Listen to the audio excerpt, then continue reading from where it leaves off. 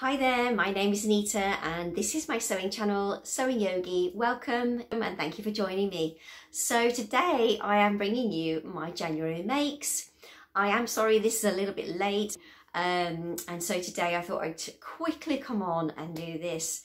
Um, the light is going so unfortunately I'm going to try and get this done as quick as I possibly can so you can see the makes. Um, but yeah, I hope that you enjoy seeing what I made in January. There's not much, so it should be quick and short, but having said that, I waffle a lot, so it might not be. so yeah, I should get on and tell you what I got made. So my first make for January was this particular thing that I'm wearing now, and it is Simplicity 9210 and I have made one of these before and if you have seen that vlog I did it in a really crazy um, animal print fabric. Um, and I loved it. So I think I made um, I think a medium and it ended up being too oversized for me. The main problem is the neck here that's quite wide.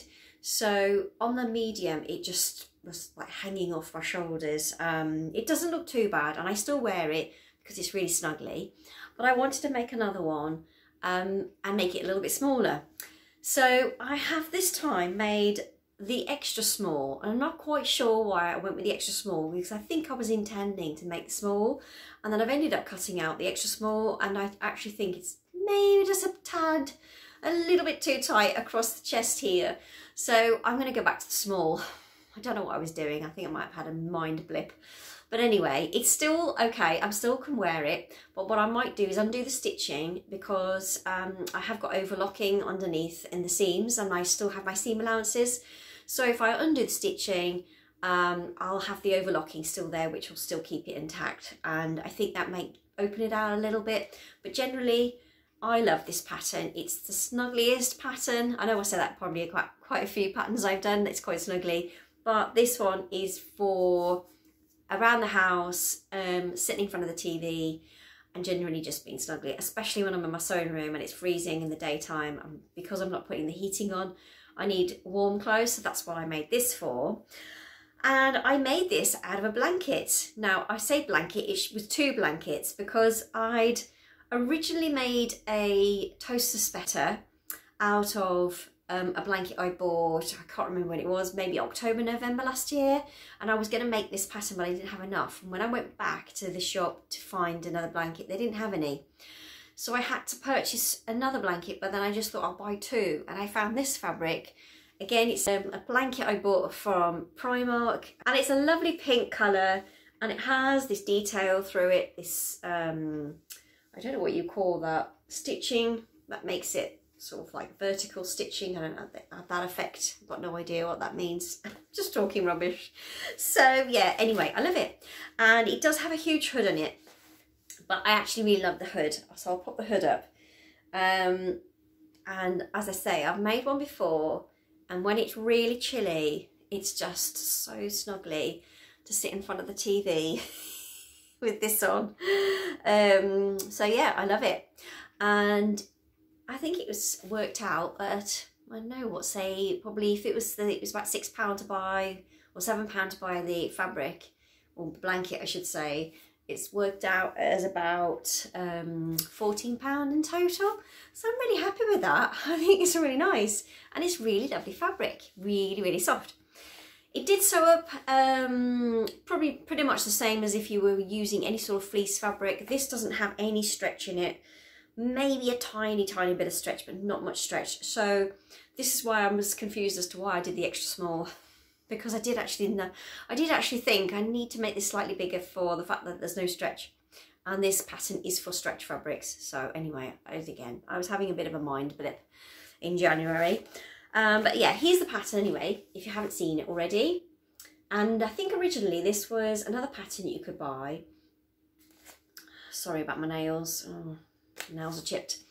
Um, but yes, yeah, so you could buy this originally, and I don't know whether it was a McCall's pattern or a New Look pattern, but I can't remember. But they didn't do that anymore, and this is the same pattern essentially, but just they've just released it in simplicity. And you can get lots of different versions. You can get like a jumper version with a hood and the long dress version with a hood, which is what I've made. You can also make shorts, but you can also make um, these sort of leggings well, um, quite snugly. And there's also this version here with a roll neck. You can see that. Got a little roll neck on there. Um, but I wanted the one with a hood.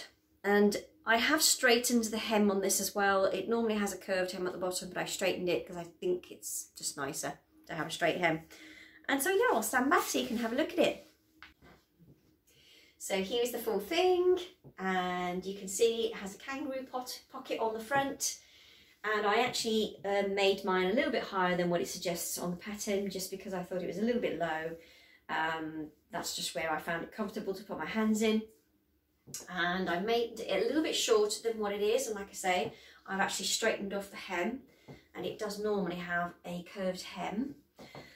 Um, I did contemplate putting a ribbing on the wrists um, just to make it a little bit stretchier and easier but in the end I couldn't find anything that matched so I just went with the same fabric and it's fine it looks okay actually it is a little bit looser than my other version even though it's a fleece it doesn't tend to stretch it has got a tiny bit of stretch in it but not loads um, and you can probably see it's just a little bit tight, I think, around this area here. But like I say, I'm going to just undo the stitching and try and release that. And then the lovely hood, which I adore. It's so snuggly. Um, and that's pretty much it. I do really like the shape of this as well. You can see it's got a lovely curve on the side. It just feels a little bit more fitted and a bit more stylish when you're slobbing around the house. So yeah, I took three inches off the length of this and I took one and a half inches off the sleeve length uh, to make it fit. And yeah, I really like this pattern. It's really simple, really nice to do.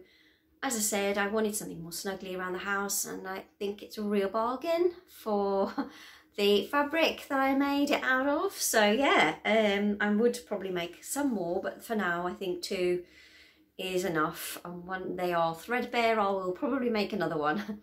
Um, and I will try to do them in some stretch fabric eventually.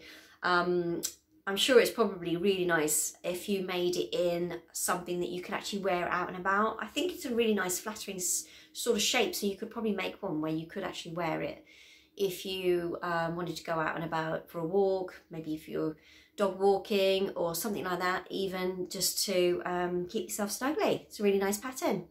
So yeah, that's Simplicity 9210. Okay, so for my second make for January, I have made another Georgie dress and I love this dress so much. This was fabric that was given to me from Minerva and it's um, a beautiful French terry that's one of their own, so it's their own fabrics that they've designed. And I ordered it not thinking I was going to get this, but it they did uh, give it to me. I was surprised and I love it. It's so beautiful and the colours in it are so gorgeous. It's really deep colours and you might not be able to pick up on it in this light, but it is really beautiful. You might just be able to see there's almost like a cerise pink and then a kind of ruby red um, and, a, and a kind of a magenta colour. And it's all on a sort of, I'd say it's a, a very deep um, midnight blue background. And it's really, really lovely quality, really, really nice. Um, it's heavy, to, might say medium weight to heavy. Um, it's, yeah, just beautiful. I would definitely recommend this fabric. I really, really love it. I'm interested in probably getting some more for something else as a treat um because I think it's about 20 pounds a meter so it is quite expensive what's but expensive for me so it may not be for everybody's budget. Um but yeah I really love it and I'm so pleased that I managed to make something else out of it. And of course the first version I made was almost the wearable toile in preparation for this fabric because I didn't want to cut this out in this fabric and it be wrong or not fit me. So I wanted to make sure it was okay. So I have made one for before I'll put the link up in the corner if you wanted to see that first version if you haven't already And yeah, I really, really love this. So I didn't make any other changes to it. I did exactly the same thing as what I did on the other one. I have made a size 8 on the shoulders. So just literally the shoulder um, area and the back of the neck is an 8. And then all the front, the crossover here and the chest downwards is a 10.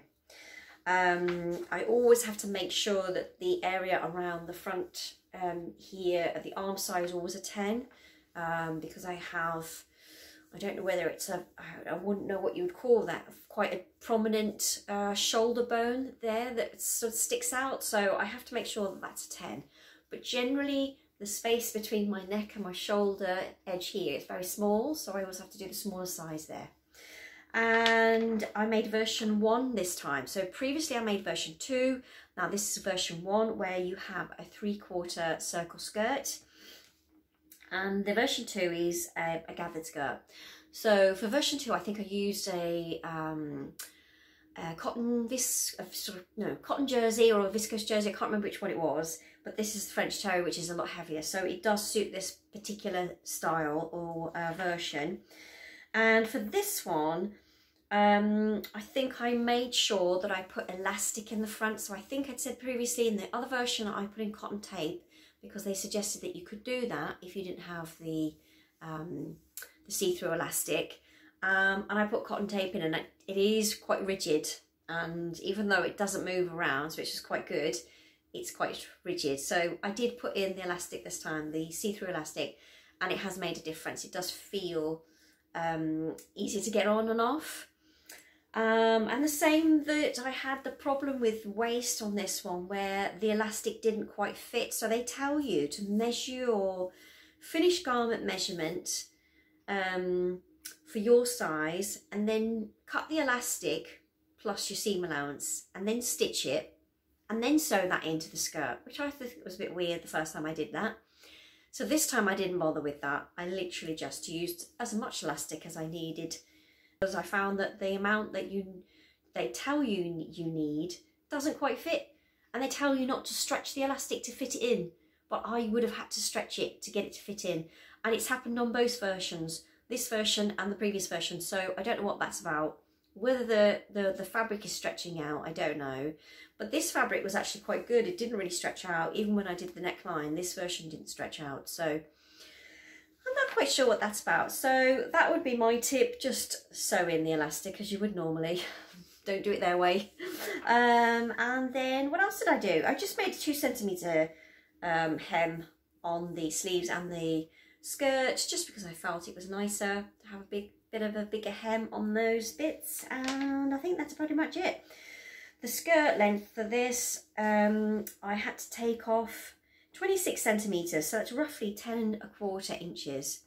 And again, I think this is meant to be a lot longer, almost like a midi length um, length. I know for the previous version, I had to take off 15 and a half inches off that one, um, which just seems a ridiculous amount of fabric to have to cut off really.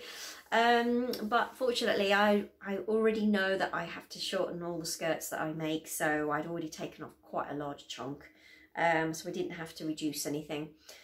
Um, but yeah, so that's what I took off for the skirt for this because I like the length to just sit above my knee, especially if I'm wearing a winter version with tights. I just feel it looks more flattering to wear it uh, shorter and then wear boots with it.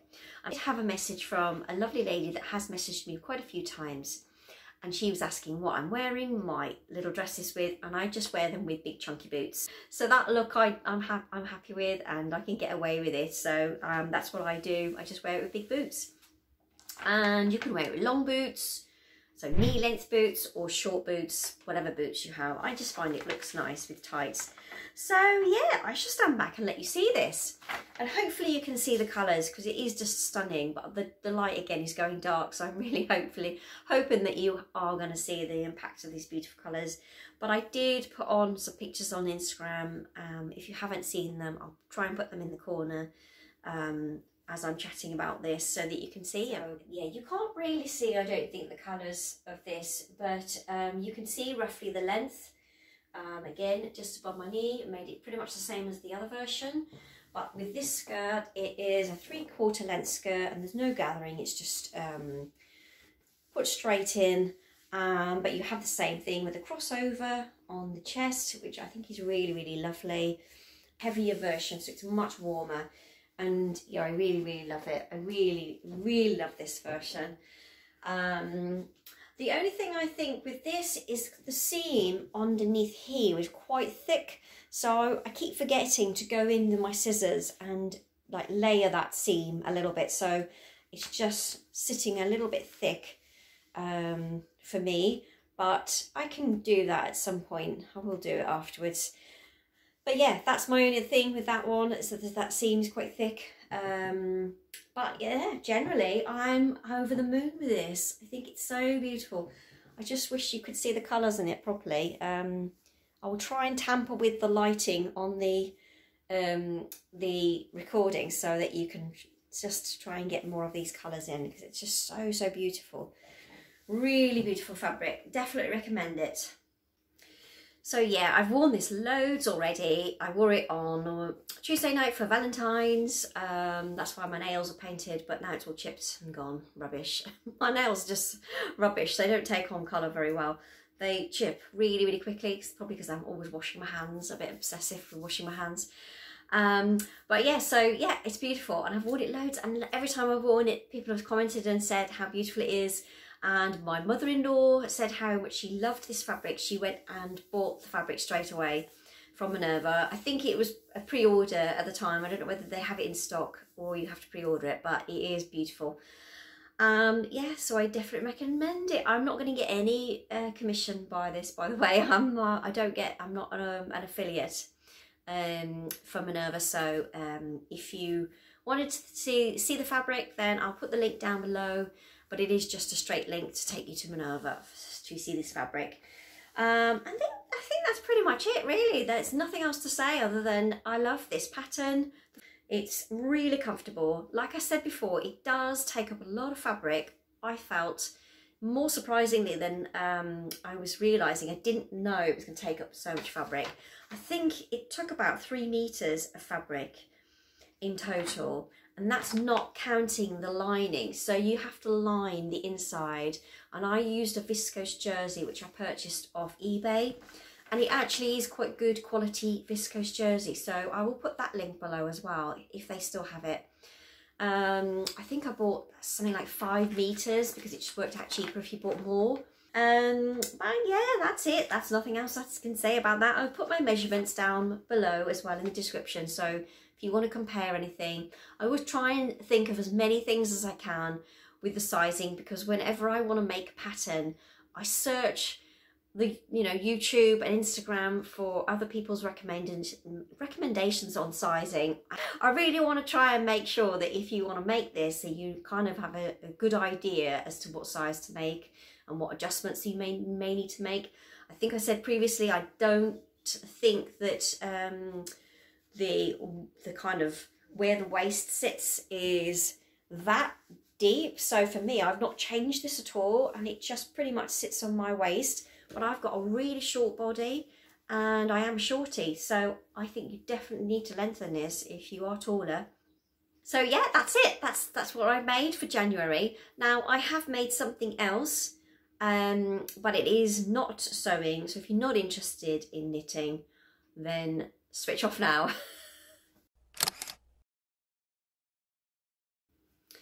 so at Christmas time, I said previously I was doing a bit of knitting, just sitting in front of the TV. Um, I do quite like having a little bit of a knit in front of the TV. And my husband was a bit jealous of the hat I made. I don't think he actually wanted that hat specifically. I did say, do you want me to make you this hat? And he was not interested. He wanted a specific sort of hat that he was calling, um, what was he calling it? He was calling it a, um, oh, I can't remember what he was calling it now, but it was essentially a fisherman's hat. So you may have seen this before. They have got a flat top almost. They're not a beanie hat. When you put it on, it's very, very short. So it's pretty much flat on your head and it's kind of just straight around your crown. So it sits flat kind of thing. I can't really describe it. If I can find a picture of somebody wearing something similar, I will put it up. I won't be able to get any pictures of my husband in it. He will not have his pictures on the internet. He's not remotely um, someone that does social media or anything like that. He's a very private person, so there's not much chance of me getting a picture of him in this. Um, but essentially, it's kind of flat. It's a fisherman's hat. Well, there was another word for it as well. Um, yeah, I can't remember any of them. Yeah, so anyway, that's what he wanted. So I found a free pattern off the internet and it wasn't really so much a pattern, it was more of a YouTube tutorial with a description of how to make it underneath. Um, but essentially it's just to get that flat top bit there. Quite intense decreases across the top to get that sort of effect. You can probably just see it there. Try and get my head out the way so it focuses. Um, yeah, and that was very hard to knit. And I was cursing him, thinking, why has he made me knit this stupid hat? Um, but I managed it in the end. I got there. Um, so yeah, and he really loves it. So I did say to him, you're never getting one of these again. That was too hard to knit. It's just because it gets so tight towards the top. You have to then use double pointed needles and you have to have four needles because there's no way you can um, knit on the round. It's just too tight. So but eventually I made it and he's happy with it. So it keeps his head warm and it looks exactly how he wanted it to look. Um, for a free pattern I thought it was actually quite good. I'll put that link down below as well so that's all I made in January. Um, it was quite um, tight really for timing with January. I know January is a long month, but I had a lot going on in January. Um, lots to do with work and also with the um, filing of the tax return. I always leave it to last minute and I have to do my own and my maths is not great and so therefore it's a struggle for me. Um, yeah, so that takes up a lot of my brain power and so I didn't really get that much done but I'm happy with what I made. I'm really chuffed with this dress. I love my Simplicity Snuggly hoodie dress um, and yeah, they've got a little bit of knitting done as well. And so yeah, that's all I've got to say for my January makes. I really hope you've enjoyed watching and do please message if there's anything that I have forgotten to mention or any information you want regarding the makes, then please do ask. Um, if anything that I've not mentioned, I'm happy to answer. If you've enjoyed watching today, please do hit the like button. And if you're not a subscriber, please do subscribe. I would be so happy to have you come along on my sewing journey. And yeah, so I hope you're all getting some sewing done and you're having a lovely week. And I shall see you again very soon. And as always, sending you all loads of love. Bye.